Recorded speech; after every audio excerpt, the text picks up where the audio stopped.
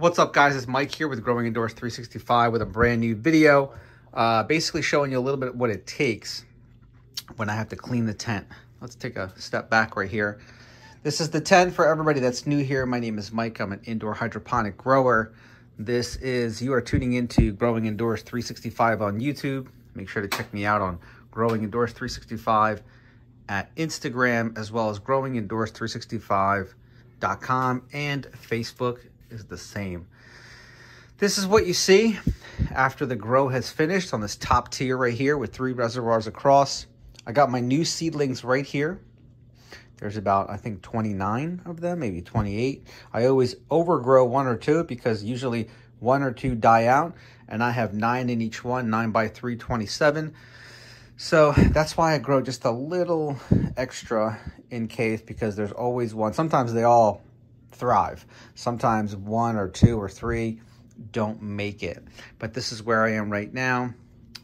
Uh, it's This is the toughest part, okay? If you have an indoor grow, you already know about this. This is the toughest part when you're done your grow. It's basically removing all the gunk that's collected throughout the entire uh, reservoir, uh, emptying out everything, cleaning the reservoirs, uh, kind of giving the, uh, the clay pebbles a quick rinse over, and cleaning the net pods. It's not fun, okay? There's a lot of glam and glory when you have the a, a beautiful three reservoir of 27 heads of lettuce, but when it comes down to cleaning, not my favorite part. This is this is a difficult part. This is a time intensive part. And it's absolutely terrible because after this step, you have to reset up. You have to reset all three reservoirs. You have to take the plants, put them into each, each pod with the pebbles.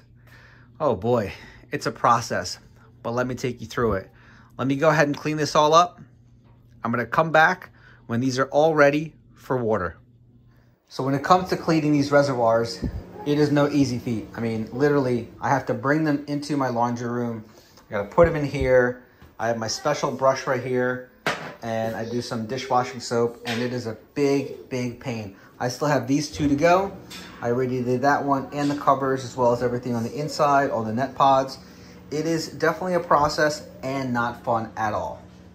When it comes to the clay pebbles, what I do is I simply put a large paper towel down and I have this like little ciphering dish that I just run these through the water, kind of throw them around a little bit, clean them up, and then I let them air dry, basically overnight. And then they're ready to go again. All right, now that I have all three of these cleaned up. As you can see here, I still have to work on the on the below here. These are really ready to go. I mean, let's take a quick look at what's going on with these. As you can see here, I have a lot of water because I just I just fed these little guys. Look how pretty they are. Looking good. Overall, health-wise, looking real good right here. Really got to get them inside the tubs immediately to start getting the, the, the good the good air quality, the good oxygen. So as you can see here, if you guys don't remember, I use these um, these plugs, okay? And you can find these down below. That's where everything is linked that I use for all my grow. Uh, these are usually used for fish tanks, and they kind of stick to the sides of fish tanks just like that. But what I do is I put the aerator stones right inside, utilizing these little clips. The reason why I do this because before I would just have the aerator stone kind of just sitting on its stomach on here, and it would constantly vibrate all the time. And that's a sound that you don't want. You know, I want the system to be as quiet as possible, period. Um, so the reality is, uh, that's why I thought that this would be beneficial. Let me zoom in a little bit more. Wow, that's a lot of zoom. So basically, they're really good suction cups. You can get them at your local pet shop, you know, PetSmart. I'm not sure where you are in the world, but and what you have available to you. But uh, the links are down below for these two. So simply, I get a good kind of radius from the front here because this is where the tube will be going into. Comes in here, uh, goes right on here, and that's what allows the aeration to come up. Simply push down, simply push down and now it's not going anywhere. As you can see here, it's got a really nice tight grip. Next thing I'm going to do is I'm going to add water here. Okay, put water all throughout, all three, and then basically transition all of those into these three reservoirs, and we should be good to go. Okay, topping it off a little bit. We could top off each reservoir. This is not fun, nor is it glamorous. I realized that by basically bringing a bucket instead of the water pitchers, I could significantly reduce the amount of work I have to do to keep going up and down the stairs. It would take a substantial amount of pitchers versus a bucket like this. I could basically fill all three reservoirs with four buckets. And that's not a full bucket, but the amount of work needed to bring this down and fill this up, is significantly less than doing the pitcher route in which case this got a little bit easier, but I still have to wait for this to get filled up. Still have to go up and down the stairs and fill these up. But as you can see here, the reservoirs are now full of water. We got our air stone set up. Now it's time to put in the tubing, get the tubing in, attach the tubing to the pump, and then transport all our seedlings directly into the reservoirs.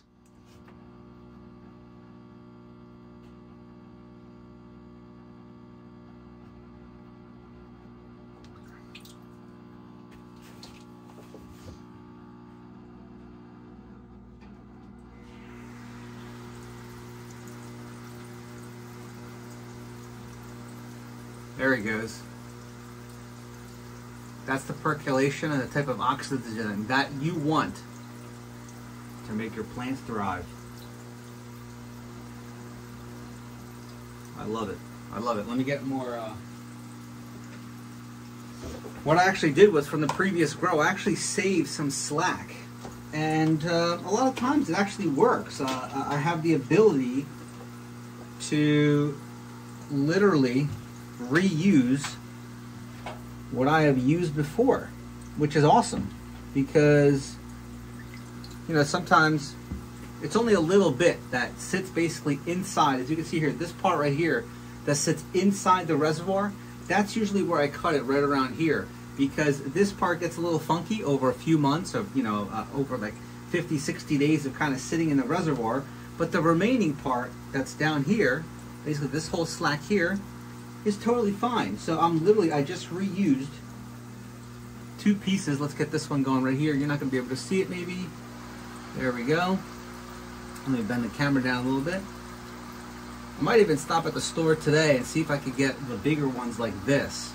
These smaller ones I picked up on Amazon, and again, the link is down below for the tubing and everything else, the air pumps and everything else that you need to set up or grow like I have. But uh, I bought those because I wasn't sure about the size of them. And what happened was I really needed some new air stones because they are extremely fragile. Okay, you wash them or you mishandle them just a little bit, they'll simply break right in half. They're extremely fragile and uh, you have to really, you know, care for them um, very lightly. All right, so let me get this one situated. We'll go ahead and put the covers on and we're gonna start putting the seedlings in. Guys, uh, literally, I just turned the camera off to um, do a little something here, and look what happened. I, I, I jinxed myself. Look what happened. That's so ridiculous. Literally was just talking about how fragile these are. And look what happened. It literally snapped in half. That's really frustrating. The good thing is I have another one, but take a look. I mean, this is how, this is what they look like on the inside handle these with care, okay?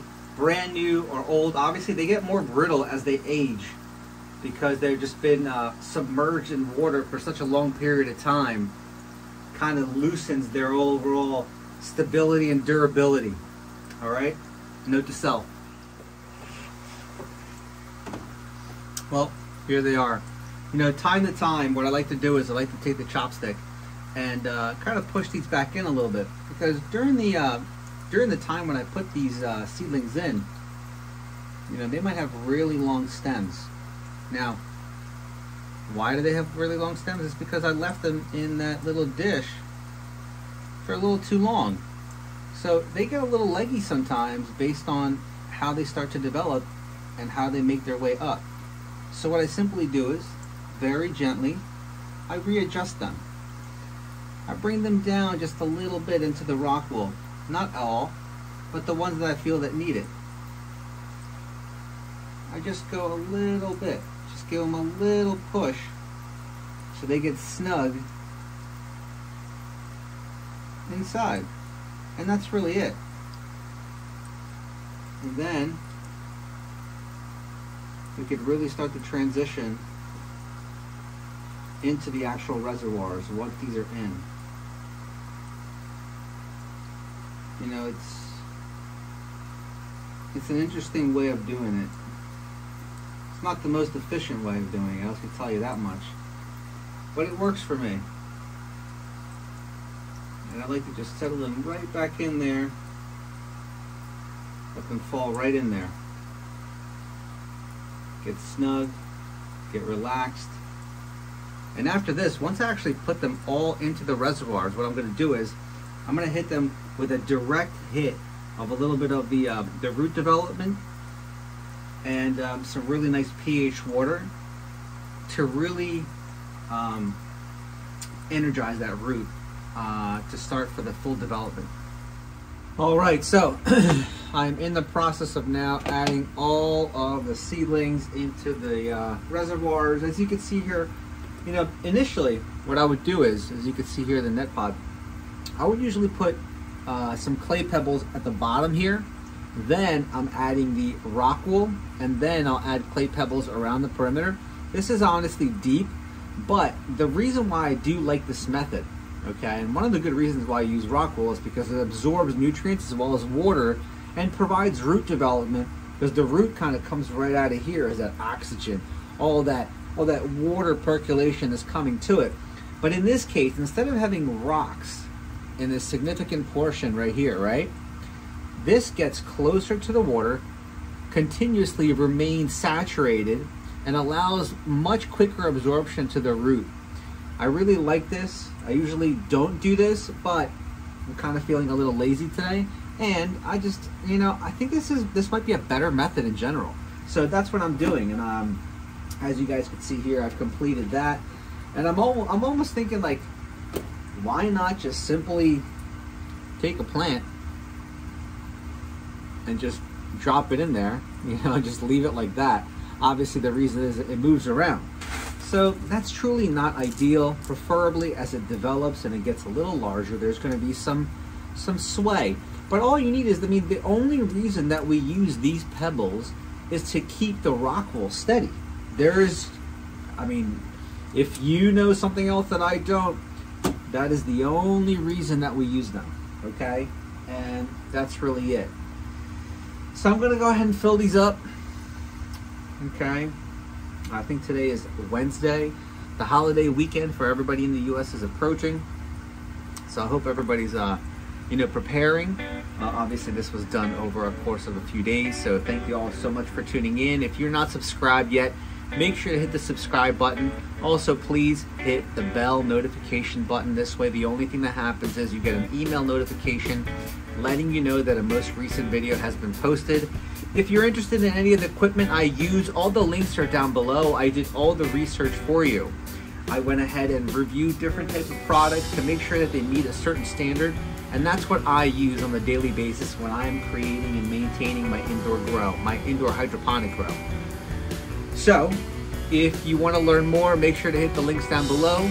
If you want, ideally, there's great questions being continuously asked on our Facebook channel, which is facebook.com backslash growing indoors 365. You can find some additional details on growingindoors365.com, and I would really appreciate you guys joining the Instagram. So, Instagram backslash growing indoors 365. I look forward to uh, creating more content for you guys and continuously educating you on how to maintain your own indoor hydroponic grow. All right, see you guys soon, probably after the holidays. I hope everybody's safe, keeping safe, keep on growing, and I'll see you guys soon.